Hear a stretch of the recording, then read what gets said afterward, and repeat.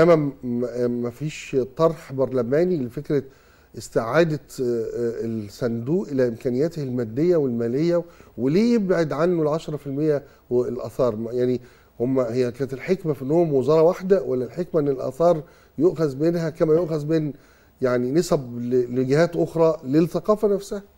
والله يعني أنا من رأيي إن قطاع الآثار المفروض إنه يبقى يعني دي أنا أختلف مع الزميله ضحى إنه المفروض يبقى يعني قطاع قائم بذاته قائم على يعني إنه يحقق إيراداته بشكل مستقل وهو قادر على ذلك. ما فيش أي حجة لقطاع الآثار إنه يبقى قطاع بيعاني ماديا. لا وبيعاني ماديا النقطة آه. النقطة إنه فعلا دخل الأثار ال 10% من تذاكر المتاحف آه. كانت فعلا عاملة فرق مم. وبالتالي النهارده أنا عشان أفكر أجيب موارد للصندوق آه يعني إيه المنطق إن أنا أشيل ال 10% آه طيب هنجيب موارد, موارد تانية يعني حصل حديث في مع اللجنه مع معالي الوزيرة مم. فهي قالت إن الموضوع ده صعب جدا وإنه يعني إحنا محتاجين ده مم. يعني كان سبق ودخلنا كلجنة فإن إحنا طالبنا إن إحنا نعمل هيئة مم. مستقلة تعمل آه تبقى عندها المساحة دي كمان للحفاظ على ذاكرة الأمة مم. لأنه فكرة شراء مثلا يعني حقوق مثلا نجيب محفوظ كان الصندوق لما بيبقى عنده ميزانية يقدر يشتري الحقوق. لأن يعني في حاجات كتيرة ليها علاقة بالملكية الخاصة. أوه. وفي نفس الوقت ليها علاقة بتراث مصر وتاريخ مصر. م. فكان الصندوق عنده ده. فبالتالي ال ال ال الحقيقة إنه الصندوق التنمية الثقافية عنده عنده الصلاحية دي ولازم يكون في دخل. ولن يعوض شيء يعني مهما حاولنا نلاقي بدايل اللي كان موجود الآثار دي حاجة ضرورية جدا. بس ربما ألمح بدائل مطروحة في الاستراتيجية لما وزارة الثقافة اتكلمت عن شراكة مع القطاع الخاص.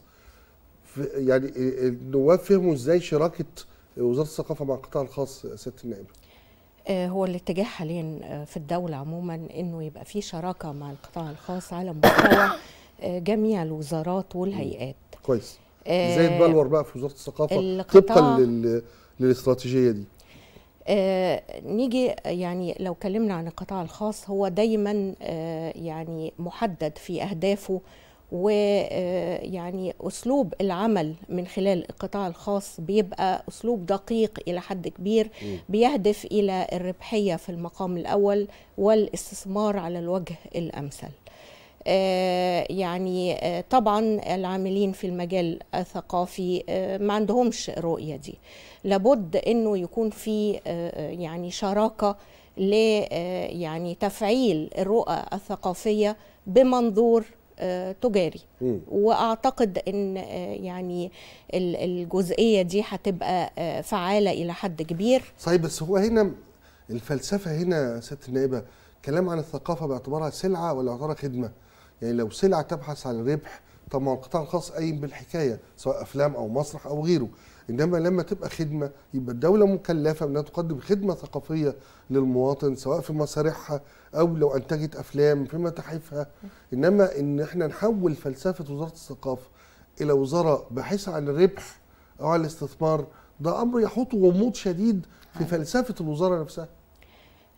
خلينا نرجع إنه آه الوزارة بتعاني إن هي آه يعني في تمويل الكثير من الأنشطة عندها. محتاجة تمويل. التحميل على الدولة يعني أصبح بيثقل الدولة في ظل الظروف الاقتصادية المتواجدة أو اللي بنعيشها حاليا. إيه المانع إنه نستثمر جزء من القدرات الثقافية أو القدرات اللي موجودة في وزارة الثقافة؟ جزء منها وليس الكل لتخطيط النشاط وأنا المجاني. خايف يا سياده النائبة إن أنا افاجئ بتأجير مسرح عشان أفراح. يعني ونقول كده عشان عايزين نستثمر. هو قصر الثقافة مبنى. هو في الحقيقة آه. فكرة إنه إنه إنه الدولة يعني أنا مع مدرسة إنه آه المسألة مش سلعة بس يعني. ما ينفعش الثقافة تبقى سلعة في مجتمع اولا نسبة الأمية فيه عالية جدا الرجعية كمان. عالية جدا القطاع الخاص اللي موجود للأسف يعني إحنا مش قادرين نعتمد على الطبقة الوسطى أو على على الاستثمار لأنه الاستثمار في مصر إحنا الناس حتى لما بتيجي تتبرع تروح تتبرع الأول لل الخيريه للأنشطة الخيرية وبعد الدينية. كده أو الدينية وبعد كده بتتبرع للرياضة. ما حدش آه. بيفكر يتبرع للثقافة. ما حدش بيفكر يعمل مؤسسات ثقافية. وبالتالي أنا عندي أصلا في المجتمع إحنا الطبقة الوسطى والمجتمع المدني آه، مش مؤهل حتى الآن أو غير راغب دي مش من أولوياته. فهنيجي نتكلم عن شراكة مع مكت... مع قطاع خاص آه، القطاع الخاص يهمه لو بنتكلم بالمنطق يهمه الربح. طب انت في مجتمع أصلا مش متقبل ما تقدمه فهو كمان هيجذب مين؟ مم. يعني هو كمان هيجذب مين؟ اللي أنا شفته مثلا في جزء في الاستراتيجية تأجير السور أسوار القصور الثقافة وتأجير الأسطح. يعني هل ده أقدر أنا كحد بيفكر في استراتيجية للثقافة أتعامل معاه لأن أنا بعمل استثمار أو دخل؟ مم. طب حضرتك ممكن ال ال يعني هأجر سور المتحف؟ يعني يعني سور القصر سور قصر الثقافة؟ الثقافه كوجهة آه، إعلانية. كواجهه إعلانية. كواجهه آه اعلانيه أوكي في النهاية حضرتك آه. ممكن كام ولا هتبقى زي سور نادي الزمالك و... والأندية سور ما نعرفش يعني ما نعرفش بقى. ما. نعرفش. فده يعني لما لا الدكتور إلى اشرف زكي في الان الأكاديمية طرحت الفنون وجهة اعلانيه قرر يعمل ال- السور فعملوا المكتبات في حاجة يعني ماشي عملوا كأنه سوق مكتبات وجهة وجهه إعلانية إنما إن أنا أجر كده على إطلاق وعشان كده قلت لحضرتك المسائل أنا مش واضحة. آه.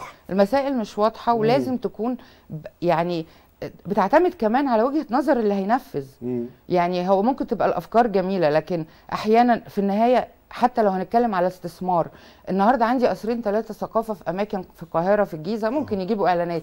لكن اللي في اصول الثقافة اللي في بيوت اللي في بيوت الثقافة في قرى نوع الإعلانات إيه؟ آه. وشكلها إيه؟ وهتجيب كام؟ عشان أنا أقدر أسمي ده استثمار. آه. يعني في الآخر.